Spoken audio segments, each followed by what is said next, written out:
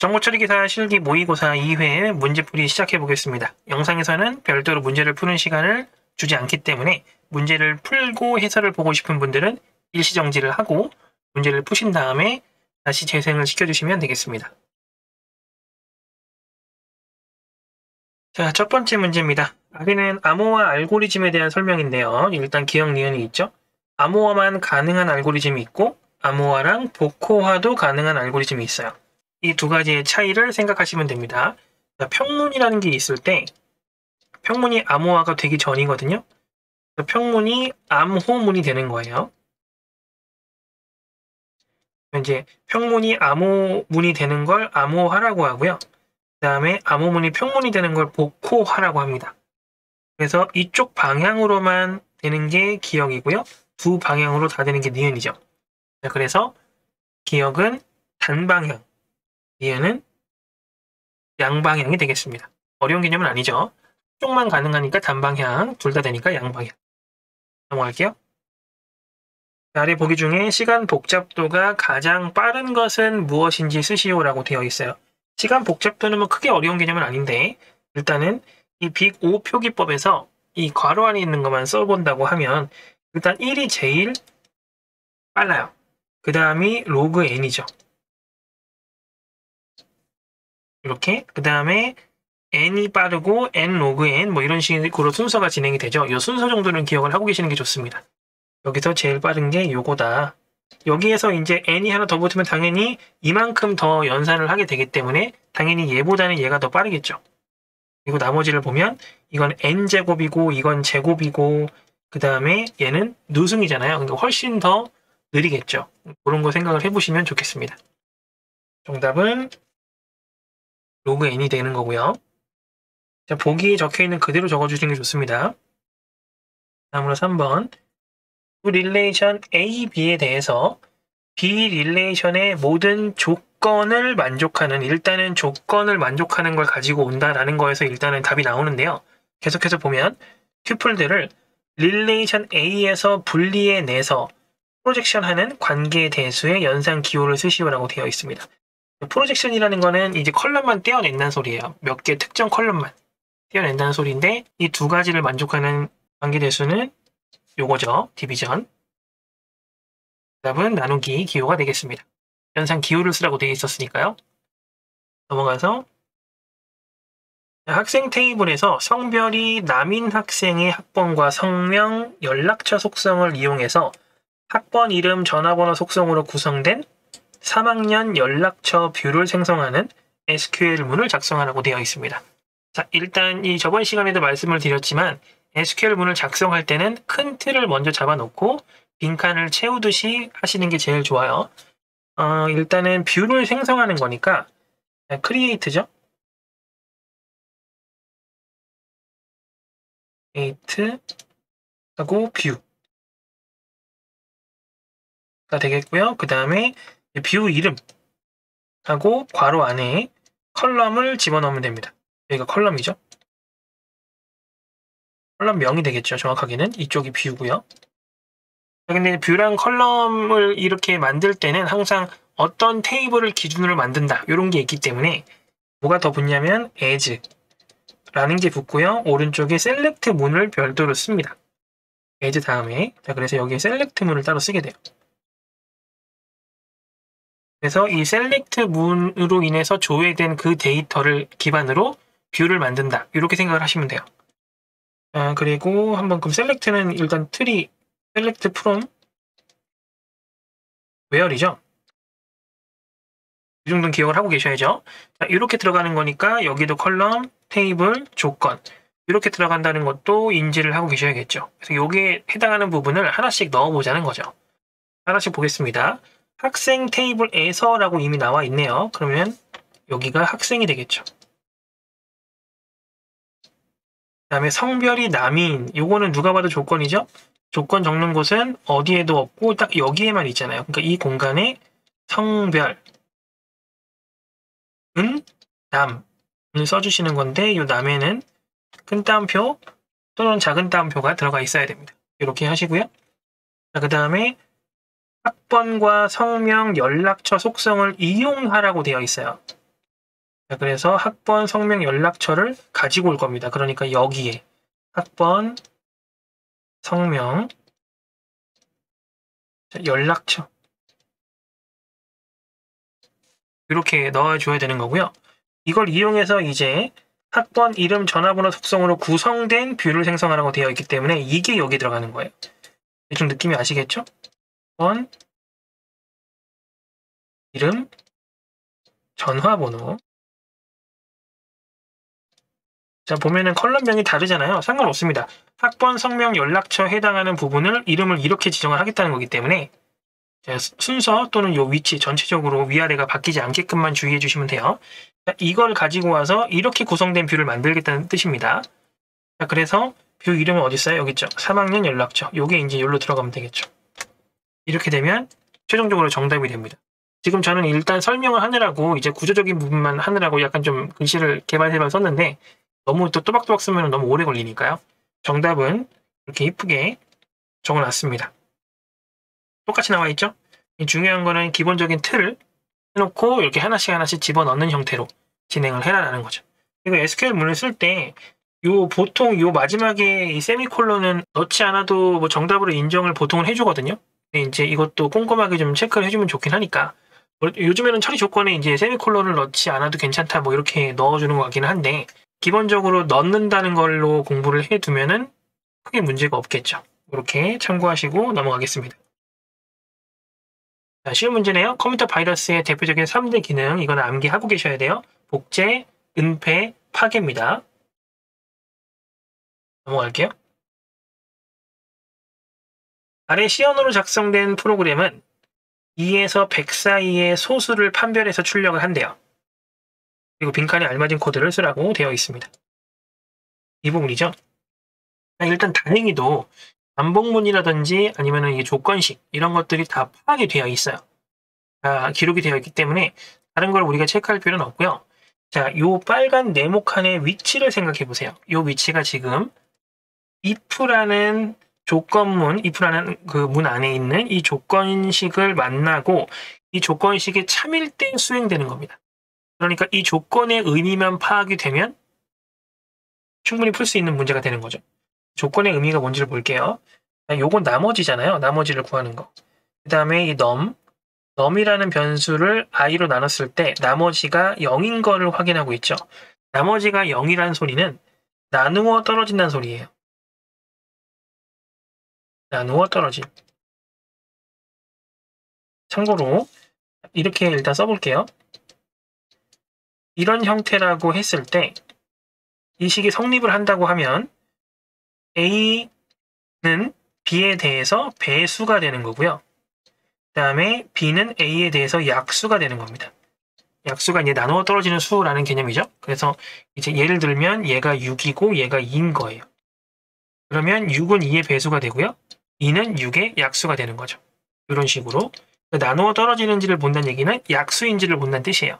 어쨌든 간에 나누어 떨어지면 무슨 일이 일어나야 되냐라는 거죠. 그래서 여기 위에 소수라는 단서가 붙어 있는 겁니다. 소수라는 거는 1과 자기 자신을 제외한 수 중에서 나누어 떨어지면 안 되는 애예요. 자, 그래서 포문을 보면 1로 시작 안 했죠. 그리고 자기 자신의 바로 이전까지만 수행을 하고 있습니다. 그래서 1도 뺐고 자기 자신도 뺐기 때문에 나누어 떨어지면 안 되는 상황인 거죠. 근데 나누어 떨어졌다? 그러면 소수가 아닌 거잖아요. 그러니까 더 체크할 필요가 없는 거죠. 그래서 반복문을 종료시키는 겁니다. 여기서 종료를 시키려면 어떤 키워드가 필요할까요? 정답은 브레이크가 되겠죠.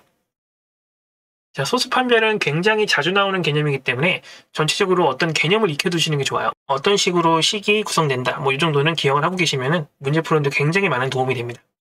넘어갈게요. 다음은 7번이네요. 아래 C언어로 작성된 프로그램의 실행 결과를 쓰라고 되어 있고요. 2차원 배열이기 때문에 2차원 배열은 표 형태로 구성해서 공부를 하는 게 제일 좋습니다. 2행 3열 이라고 생각하고 보시면 됩니다. 행열이에요. 2행 3열. 그렇기 때문에 이렇게 구성을 해놨죠.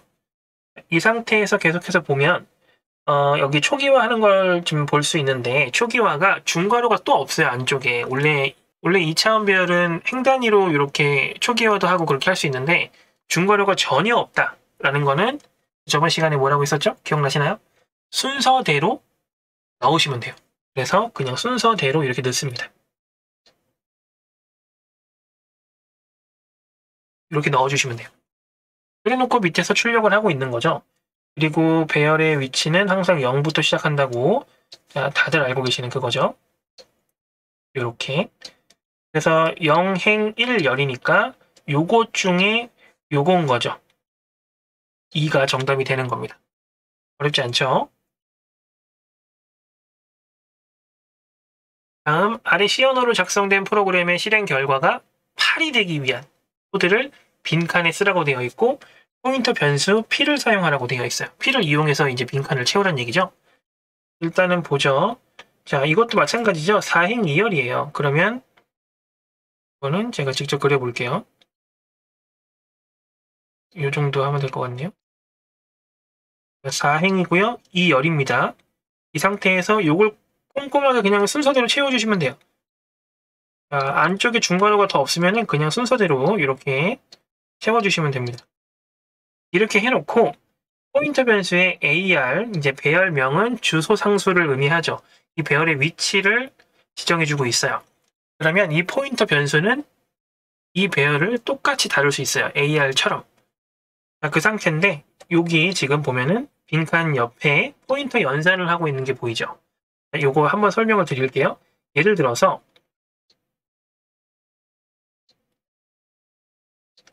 이렇게 0번째 값을 가지고 오는 이런 배열의 형태로 0번째 값을 가지고 오는 이 코드를 포인터 연산 형태로 변형을 한다라고 하면 일단 A, R하고 0이 있었잖아요. 얘를 플러스로 바꿉니다. 이 사이 값을. 그리고 가로로 묶고 별을 붙여주면 돼요. 그러면 이거랑 이거랑 똑같은 위치를 가리키는 거예요. 그러니까 만약에 AR 1이었으면 여기 0 부분에 1을 바꿔주면 되는 거죠. 정리. 자, 그럼 현재 지금 별이 붙어 있다는 얘기는 여기 아니라 이런 식으로 넣어줘야 되는 뜻이에요. 자, 그래서 이 식에서 AR이라고 써 있는 부분을 P로 바꿀 수 있어요. P로. 왜냐하면 여기에서 같은 주소를 지금 할당 받았기 때문에 P로도 똑같이 접근을 할 수가 있습니다. 자, 그러면 이 P가 지금 1차원 포인터인데 이 P로 2차원 배열을 어떻게 접근하냐? 그냥 순서대로 접근하면 돼요. 예를 들어서 이렇게 되어 있다. 그럼 이거예요. 만약에 P1이면은 이걸 거고요.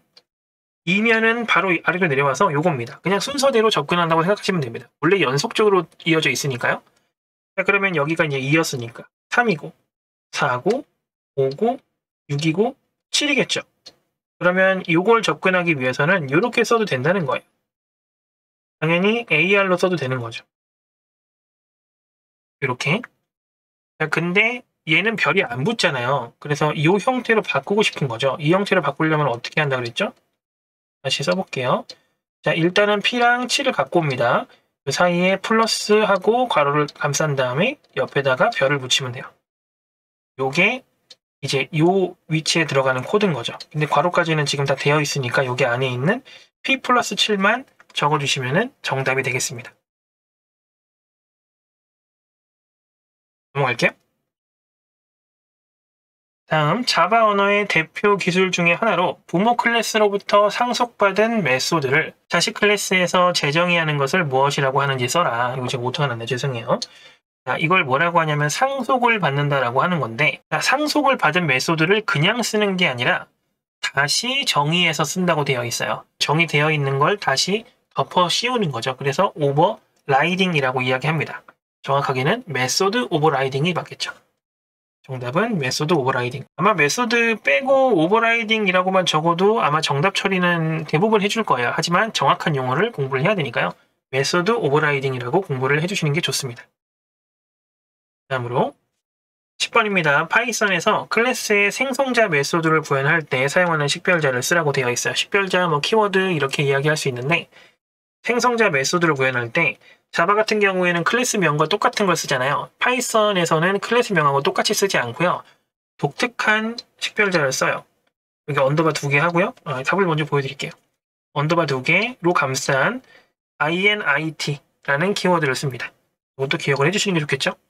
요거 underbar 할 때도 붙여 쓰지 마시고 딱딱 이렇게 떨어져서 정확하게 구분될 수 있게끔 적어주시는 게 좋습니다. 어렵지 않죠, 이거는? 다음, 교착 상태 해결 방안 중에 회복은 교착 상태가 발생한 프로세스 중에 어, 희생량을 정해서 자원을 빼앗는 방식이라고 되어 있어요. 희생량을 결정하는 기준을 간략하게 쓰라고 되어 있습니다. 어, 희생량은 당연히 잘 안 쓰이고 아니면 엄청 문제가 심각하거나 그런 것들이 있죠. 그런 것들을 사용을 하겠죠. 그런 키워드가 들어가면 되는데 우선순위가 떨어지거나 아니면 뭔가 진행이 최소한으로만 됐거나 아니면 자원 사용률 같은 게 낮거나 그런 것들이죠. 그래서 그런 키워드가 들어가면 정답 처리가 될 겁니다. 우선순위나 진행률, 자원 사용률이 낮고 기아 상태, 기아 상태라는 거는 이제 자원을 전달 못 받아서 얘가 그 자원의 허덕에서 아무 일도 못 하고 있는 거예요. 그래서 기아 상태라고 이야기합니다. 이런 프로세스를 우선적으로 쳐낸다. 그런 얘기라고 보시면 되겠습니다. 넘어가서 주기억 장치보다 큰 사용자 프로그램을 실행하기 위한 기법으로 주기억 장치의 공간이 부족해지면 일단 부족해졌어요.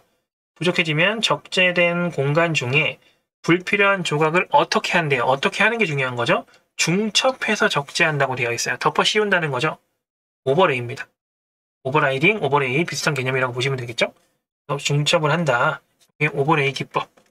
요거에 대한 설명입니다. 넘어가고요. 아, 이거 보너스 문제죠. 이 정도면. 정기화의 목적을 간략하게 쓰시오. 이 간략하게 쓰는 게 조금 어려울 수 있는데 뭐 얼마나 길게 써야 되나요? 이런 게 없어요. 핵심 키워드가 들어가면 되는 거예요. 정기화가 이제 진행됐을 때 진행됐을 때 이제 제거되는 요소들이 있잖아요. 아니면 지켜지는 요소라든지 그런 것들을 키워드로 넣어서 문장을 만들어 주시면 돼요. 예컨대 데이터의 중복 및 종속성을 없애서 이상 현상을 방지하는 거거든요. 다른 말로는 중복 및 종속성으로 인한 이상 현상을 제거하는 거죠. 이게 정기화의 목적입니다. 이상 현상을 제거하면 종속성, 중복 이런 것들이 없어지겠죠. 그러니까 반대로 데이터의 유일성, 정합성이라고 하죠. 그 다음에 독립성 이런 것들이 올라가겠죠. 반대 개념으로. 이런 것들이 이제 정교화의 목적이다. 이렇게 볼 수가 있겠죠. 다음은 용어예요. RFID 기술 중 하나로 최대 통신 거리가 10cm 이내로 굉장히 좁죠. 비접촉식 통신 기술. 이 비접촉식이라는 것 때문에 조금 헷갈릴 수 있습니다. 예를 들어 버스카드 생각해 보세요. 여러분들 버스 카드가 접촉식인가요? 비접촉식인가요? 대부분은 접촉식이라고 생각하실 거예요. 우리 갖다 대니까요. 자, 근데 한 1cm 정도로 이제 아니면 0.5mm, 0.5cm 그 정도만 갖다 대도 인식이 돼요. 그럼 이거는 비접촉이 맞죠? 그렇죠? 그래서 이제 비접촉이라는 거는 연결이 안 된다는 뜻이에요. 뭔가 이렇게 장착을 하거나 탈착을 하는 그런 것들이 있죠. 그런 식의 통신이 아니라는 뜻입니다. RFID 중에 가장 짧은 제가 방금 버스카드도 이야기했었었죠. 이게 NFC입니다. near field 가까운 영역에서 이제 통신을 하는 거다. 뭐 그런 얘기죠. 15번입니다. 모든 연산이 수행되거나 하나도 수행되지 말아야 한다는 트랜잭션의 특징, 특성. 이것도 반드시 알고 계셔야 되는 개념이죠. 원자성이에요. 원자성은 어떤 작업이 쪼개서 진행이 되면 안 된다는 거예요. 쪼갤 수 없다라는 특징이 원자성이거든요. 그렇기 때문에 아예 수행이 다 되면 다 되고 안 되면 안 됐지 일부만 되는 건 안 된다라는 거예요. 쪼개지면 안 된다. 그게 원자성입니다. 원자성은 트랜잭션 말고도 여러 가지 그 분야에서 나오죠. 정답은 원자성이 되겠습니다. 다음은 16번이죠. OSI 7계층에서 어, 종단간, 일단 종단간에서 답이 나오는데요. 일단 신뢰성 있고 효율적인 데이터를 전송하기 위해 오류 검출 복구 흐름 제어를 수행하는 계층을 쓰시오라고 되어 있어요. 일단 OSI 7계층 중에 오류 검출 복구 흐름 제어를 수행하는 계층이 두 계층이 있어요. 전혀 기억이 안 나시는 분들도 물론 계시겠지만 공부를 조금 하신 분들은 어, 이 용어가 여기서도 나오고 저기서도 나오는데 이런 생각하실 텐데 여기서 포인트는 종단이에요. 종단이라는 거는 노드와 노드 어떤 시스템과 시스템의 끝을 얘기하는 거거든요. 그러니까 뭐 시작점과 도착점 이 느낌이라고 보시면 돼요. 종단이라는 건 끝과 끝에서 이제 데이터를 전송하는 거 여기에서 포인트를 가지시면 됩니다. 이게 뭐냐면 전송 계층입니다. 그래서 전송 계층은 이 신뢰성 때문에 TCP라는 프로토콜을 사용하죠. 뭐 요거는 이제 좀 더 가는 얘기니까 일단 전송 계층에서 오류 검출 이런 것들을 신뢰성 때문에 하는 건데 신뢰성 때문에 이런 것들을 하는 게 계층이 하나 더 있어요. 여러분들 공부할 때 한번 체크해 보세요.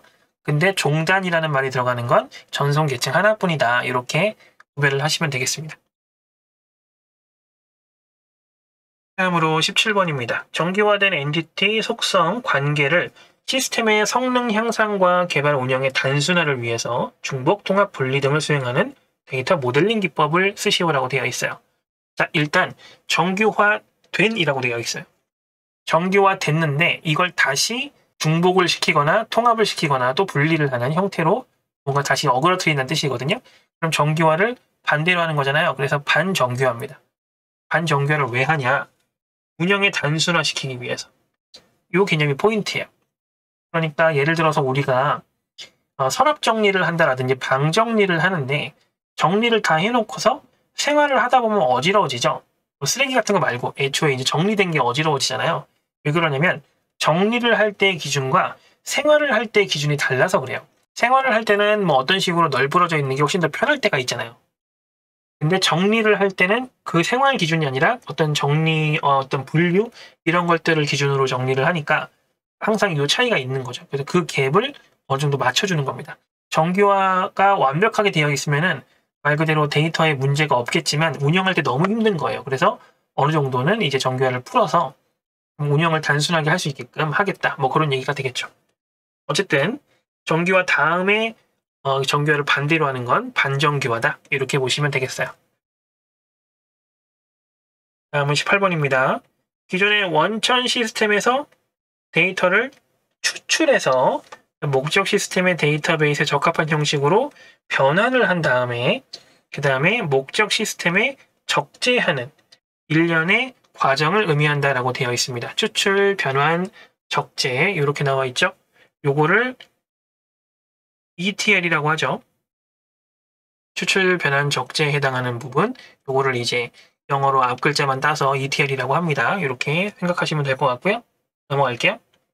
자, 용어네요. 마지막은 절차형 SQL의 종류 세 가지 어렵지 않습니다. 이것도 외우셔야 돼요. 프로시저, 사용자 정의함수, 트리거. 조금 더 공부하시는 분들은 프로시저와 사용자 정의 함수와 트리거의 공통적인 부분 또는 얘네들 간의 별도, 예를 들어서 뭐 반환값을 갖지 않는다, 어떤 이벤트에 의해서 발생한다, 뭐 이런 것들이 있어요. 그런 것들까지 추가로 공부를 해주시면 좋고요. 마지막으로 다음이 설명하는 용어를 쓰시오. TCP/IP 프로토콜 위에서 동작하는 발행 구독 기반의 메시징 프로토콜이라고 되어 있고요. 메시지의 매개자 브로커를 통해서 특정 메시지를 발행하고 수신자가 메시지를 구독하는 방식으로 IBM이 주도했다. 일단 구독 기반이고요. 브로커가 들어가고요. IBM이 만들었다고 되어 있죠. 이렇게 정리를 하시면 됩니다. 정답은 MQTT라고 해서 이제 플레임은 이렇게 되는데 플레임까지는 모르셔도 될 것 같고 이게 이제 신기술 용어 같은 거예요. 그래서 이런 용어들이 굉장히 많습니다. 그래서 수십 가지가 되는데 요거는 조금 후순위로 둬도 될 부분이에요. 내가 이제 프로그래밍 언어라든지 아니면 SQL 이런 것들을 완벽하게 이제 습득을 해서 그 부분에 대해서는 간단한 복습 정도만 해도 되는데 시간이 남어. 그때 공부하셔야 되는 부분이에요. 나머지 좀 더 핵심적인 부분들이 많기 때문에 음, 그런 부분을 참고하셔서 공부를 하시면 되겠습니다. 여기까지가 모의고사 2회 풀이가 되겠습니다.